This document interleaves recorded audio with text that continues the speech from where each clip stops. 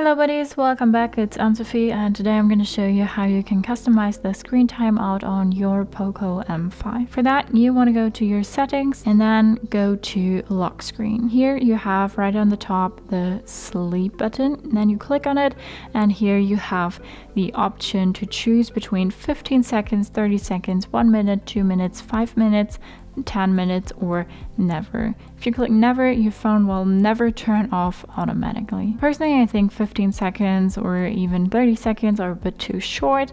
I like to stay between one minute or two minutes. Um, everything above two minutes is a bit of a safety issue for me because I'm just afraid that people can get to my phone if I put it aside and forget to lock it or something. Um, so I always set it to one minute or yeah, two minutes. And then you just click on it and then it's set automatically. And when you go back or even just stay there and don't touch your phone for one minute, it will then turn off automatically. So that's how you customize your screen time out on your POCO M5. Hope you liked it, hope it helped. If so, thumbs up, share and subscribe. And I hope to see you next time. Bye.